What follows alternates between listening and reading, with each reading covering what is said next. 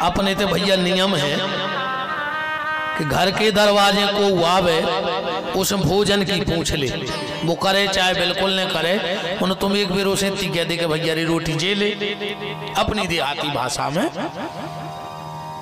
हम के जाने पूछ पाओ तो यार पानी की पूछ ले, के बच्चे पानी पी हो हम के बिल्कुल नहीं दे जो पूछ तो ले। हम के तेते में तुम्हें तकलीफ़ होए। तो उसे यार दो शब्द ही बोल दे अच्छे। हम कहते में तकलीफ़ हो तो उसमें बैठे की तो कह दे के आओ बैठो।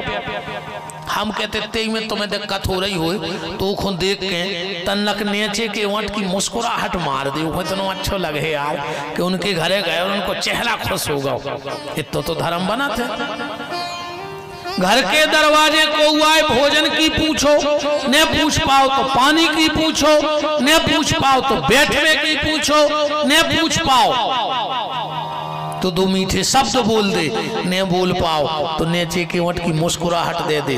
अको इतो न कर पाओ। चना में मिलावे कल्चर तो ले आए हो जो बचो है। अच्छो घोर के एक जग में, भीतर जज जो कमरा में, वो भीतर से केवाल लगा के वो पी के सूरज जो। मर जा जी का है जब तुम इतो नहीं कर सको तो। फांसी लगा लेना, अच्छे पेड़े पे लटक जा। भगवान से अगले जन्म में कच्चू के हमें पड़ा बना दे सुरो था तो रज्जू के हम बंदे बंदे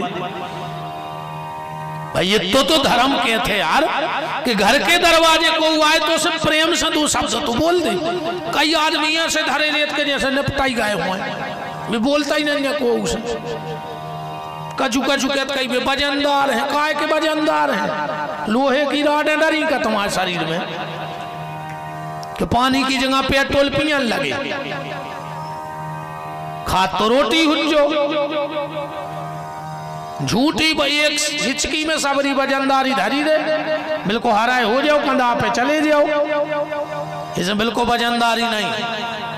भगवान ने इंसान बनाए हैं, इंसानों जैसी ज़िंदगी जियो। कोई प्रमाण है, बोले प्रमाण है। क्या प्रमाण है? कि मरने के बाद किसी का उद्धार हुआ? तो आत्मा देवे पुरे तस्मिन। एक आत्मदेव नाम के ब्राह्मण हते, तुम्हारों ने कथा सुनी, हम तो मुझे जल्दी निकाल दे रहे कथा। आत्मदेव नाम के ब्राह्मण हते, उनकी पत्नी को नाव तो धुंधली अब एक कथा से एक सार भर निकाल ले अपन तो।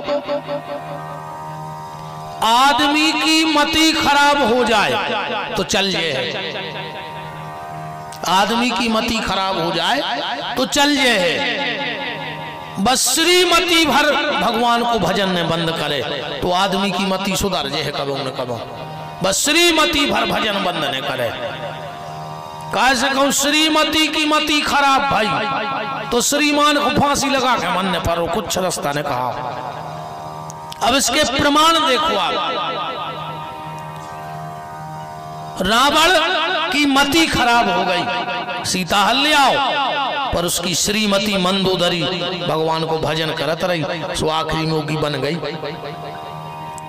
हिरणा कश्यपु की मति खराब भाई, पर उसकी पत्नी कयाधु, श्रीमती की मति भगवान से जुड़ी रही। और आत्मदेव की कथा में, आत्मदेव बहुत अच्छो ब्राह्मण हतो। मती की एक नंबर की, पर श्रीमती कुमार्ग पे चली गई। बेचारे को बीच में फांसी लगा के मन पारो